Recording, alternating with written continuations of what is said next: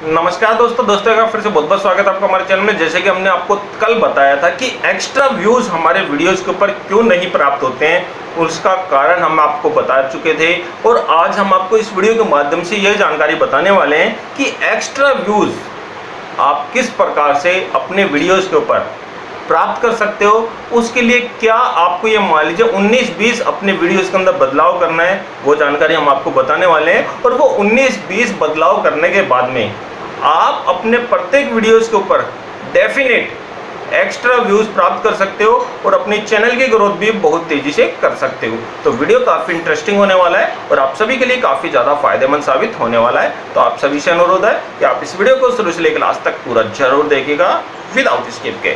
तो चलिए दोस्तों, बिना समय गंवाए शुरू करते हैं हमारा आज का वीडियो देखिए दोस्तों, सबसे पहले तो मैं आप सभी को एक छोटी सी जानकारी ज़रूर बताना चाहूँगा। अगर आपका नया यूट्यूब चैनल है और आप अपने चैनल को प्रमोट कराना चाहते हो तो डिस्क्रिप्शन में आपको इंस्टाग्राम का लिंक दिया जा रहा है। इंस्टाग्राम के माध्यम से आप अपनी चैनल की इन्फॉर्मेशन हमारे तक भेज सकते हो, ताकि हम हमारे अगले वीडियो के अंदर आपके चैनल को प्रमोट कर सके, जिससे आपके वीडियोस के ऊपर ज़्यादा से ज़्यादा व्यूज़ प्राप्त होती रहे और आपका चैनल भी दिन प्रतिदिन ग्रो ही ग्रो होता चला जाए। तो हम बात कर रहे थे कि हम हमारे प्रत्येक वीडियोज़ के ऊपर एक्स्ट्रा व्यूज़ किस प्रकार से प्राप्त करें, किस प्रकार से हम हमारे प्रत्येक वीडियोस के ऊपर ज़्यादा से ज़्यादा व्यूज़ की प्राप्ति कर कर हमारे चैनल की ग्रोथ भी बहुत तेज़ी से कर सकते हैं। तो इसके लिए आपको किसी प्रकार की कोई भी जी तोड़ मेहनत करने की आवश्यकता नहीं पड़ेगी। किसी प्रकार का कोई भी ज़्यादा बड़ा बदलाव आपको करने की आवश्यकता नहीं पड़ेगी। आपको अपने चैनल के ऊपर रेगुलर वीडियोज़ अपलोड करने और उस रेगुलर वीडियोज़ अपलोड करते करते ही आपको कुछ 19-20 का बदलाव आपको अपने वीडियोज़ के अंदर करना है, जिसके बाद में आपका वीडियोज़ यूट्यूब के प्लेटफॉर्म पर धूम मचाता चला जाएगा और डेफिनेट प्रत्येक वीडियोज़ आपका एक्स्ट्रा व्यूज़ की प्राप्ति करता चला जाएगा। तो इसके लिए सबसे पहली चीज़ आपको करनी होगी कि आपको अपने प्रत्येक वीडियोज़ की स्टार्टिंग थोड़ी सी स्ट्रांग रखनी होगी, जो कि ज़्यादा से ज़्यादा ऑडियंस को लंबे समय तक रोक कर रख सके।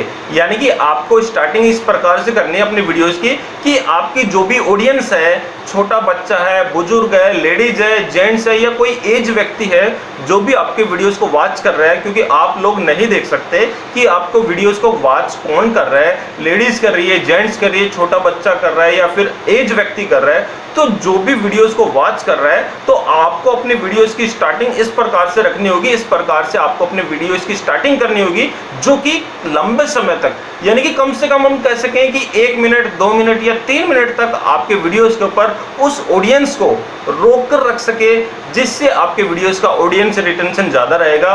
और अगर आपके वीडियोस का ऑडियंस रिटेंशन 40 या 40 परसेंट से अधिक रहेगा तो डेफिनेट आपका वीडियोस ऑटोमेटिकली वायरल होता चला जाएगा। तो सबसे मेन चीज़ है कि स्टार्टिंग हमारी स्ट्रॉन्ग रहनी चाहिए, जो कि लंबे समय तक हमारी ऑडियंस को हमारे वीडियोस के ऊपर रोके रख सके। और दूसरा बदलाव आपको करना है टॉपिक बेस्ट रखना है। जी हाँ दोस्तों, यानी कि जो भी वीडियोज़ आप बना रहे हो कोशिश यही कीजिए कि बेस्ट टॉपिक आप अपना सेलेक्ट करिए या फिर कुछ ट्रेंडिंग टॉपिक आप सेलेक्ट करिए, जिसके ऊपर अगर आप वीडियोस बनाओगे तो डेफिनेट आपका वीडियोस कम समय में ज़्यादा से ज़्यादा उपलब्धि हासिल करता चला जाएगा। या फिर ऐसा टॉपिक आप सेलेक्ट करिए, जिसके ऊपर आपको सबसे ज़्यादा नॉलेज है। अगर आप अपनी नॉलेज के अकॉर्डिंग अगर आप वीडियोज़ बनाओगे तो डेफिनेट आप अपने प्रत्येक वीडियोज़ के अंदर बेटर से बेटर परफॉर्मेंस दे सकोगे और ज़्यादा से ज़्यादा व्यूज़ की प्राप्ति करते चले जाओगे। तो टॉपिक आप बेस्ट रखिए ऐसा ट्रेंडिंग टॉपिक रखिए, या फिर अपनी नॉलेज के अकॉर्डिंग आप टॉपिक सेलेक्ट करिए, जिससे आपके वीडियोज़ के ऊपर ज़्यादा से ज़्यादा व्यूज़ की प्राप्ति होती चली जाएगी। और तीसरा बदलाव आपको करना है, अगर आप नए यूट्यूबर हैं तो आपको अपने वीडियोज़ की साइज़ ध्यान में रखकर आपको वीडियोस बनाना है। यानी कि नए यूट्यूबर के लिए बहुत ही आवश्यक है। और जो यूट्यूबर पुराने हो चुके हैं, पुराने का मतलब जिनका यूट्यूब चैनल मोनिटाइज हो चुका है उनके लिए ये चीज़ मैटर नहीं करती। उनके लिए चाहे वो वीडियोस को छोटा बनाए या बड़ा बनाए, उनको तो भैया चैनल मोनेटाइज हो गया। तो फ़र्स्ट प्रायोरिटी हमारी यही रहती है कि हम हमारे यूट्यूब चैनल को किस प्रकार से मोनेटाइज कराएँ और मोनेटाइज कराने के लिए आपको अपने चैनल के ऊपर 1000 सब्सक्राइबर और 4000 वॉच टाइम आवर जल्द से जल्द कंप्लीट करने होते हैं। यानी कि कम से कम समय में अगर आप कंप्लीट करोगे तो ज़्यादा फ़ायदा आप ही को मिलेगा।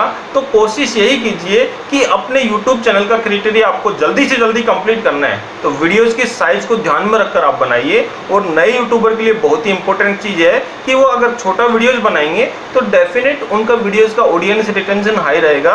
और अगर उनका वीडियोस का ऑडियंस रिटेंशन 40 या 40 परसेंट से अधिक रहता है या 50 परसेंट से अधिक रहता है तो ऑटोमेटिकली बिना मेहनत के उनका वीडियोस ऑटोमेटिकली वायरल होता चला जाएगा। यूट्यूब भी आपके वीडियोस को वायरल करता चला जाएगा। यूट्यूब भी आपके वीडियोस को सजेस्टेड लिस्ट में डालता चला जाएगा और यूट्यूब भी आपके वीडियोस को रिकमेंड भी करता चला जाएगा। तो कोशिश यही करनी है आपको, जब तक आपके यूट्यूब चैनल का 1000 सब्सक्राइबर और 4000 वॉच टाइम आवर कंप्लीट नहीं हो जाए, तब तक आपको अपने वीडियोस की साइज़ छोटी रखनी है।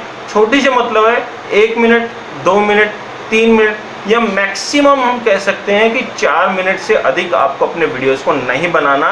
छोटा वीडियोस बनाओगे तो डेफिनेट आपका यूट्यूब चैनल जल्द से जल्द मोनेटाइज हो जाएगा, वरना लंबे समय तक आपको स्ट्रगल करना होगा, लंबे समय तक आपको ज़्यादा मेहनत करनी होगी और वही चीज़ आपको ये मान लीजिए दो साल, तीन साल या हम कह सकते हैं कि चार साल बाद में जब आपका चैनल मोनिटाइज होगा तब आपको आउटपुट प्राप्त होने लगेगा। लेकिन अगर आप स्टार्टिंग से छोटे वीडियोज़ बनाओगे तो हो सकता है दो महीने या मैक्सिमम तीन महीने में आपका चैनल मोनिटाइज हो जाएगा और उसके बाद में आपकी अर्निंग यूट्यूब से स्टार्ट हो जाएगी। तो कोशिश यही कीजिए कि छोटा वीडियोज़ आपको बनाते चले जाइए। और चौथा बदलाव आपको करना है अपने वीडियोज़ के ऊपर एक्स्ट्रा व्यूज़ पाने के लिए कि आपको अपने प्रत्येक वीडियोज़ के अंदर एंड स्क्रीन डेफिनेट लगानी है, यानी कि प्रत्येक वीडियोस के अंदर एंड स्क्रीन का आपको इस्तेमाल ज़रूर करना है।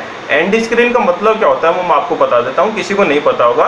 वैसे तो मेरे ख्याल से सभी को पता होगा कि एंड स्क्रीन का क्या मतलब होता है, लेकिन फिर भी मैं आपकी जानकारी के लिए मैं आपको बता दूँ एंड स्क्रीन का मतलब ये होता है कि जो भी ऑडियंस हमारे वीडियोज़ को कंप्लीट वॉच कर रही है तो हमारे वीडियोज़ को ख़त्म होने से पहले हम 21 सेकंड से पहले हमारे कोई भी पुराने वीडियोस की, दो क्लिप एक क्लिप चार क्लिप यानी कि कम से कम एक क्लिप और ज़्यादा से ज़्यादा चार क्लिप यानी कि हमारे वीडियोस का, पुराने वीडियोस का थंबनेल हम लगा सकते हैं।